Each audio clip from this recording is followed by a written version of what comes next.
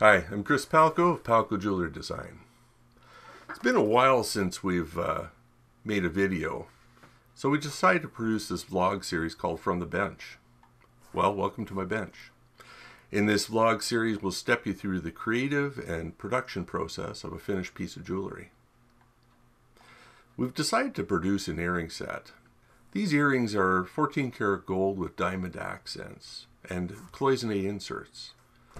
I made this this set as a gift for my wife years ago, and she liked them so much, and we had so many compliments that we decided to start a limited production on them. And we're going to sell them exclusively on our website.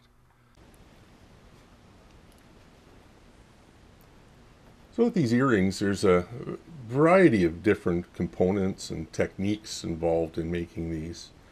Starting from the uh, ear wires, will be hand-drawn wire, so I'll melt the gold and draw the wire down. The diamonds are set in little tube settings. Then there's a little forged piece of square stock. It's flat on one side, then flattened on the other side. Gives a nice profile. Drill a little hole.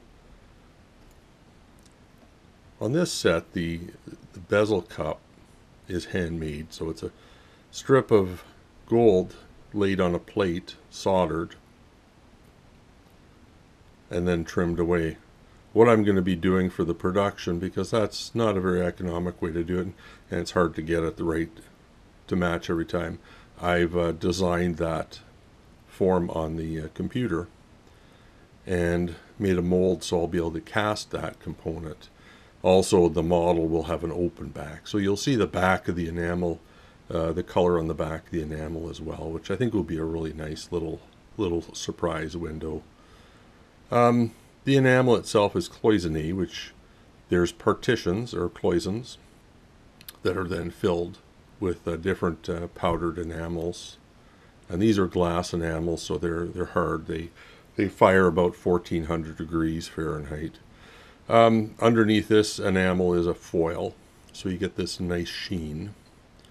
Uh, there's some nice gradients happening here to keep it bright and colorful. The wires on this are all 24 karat and these little bead highlights are all 24 karat.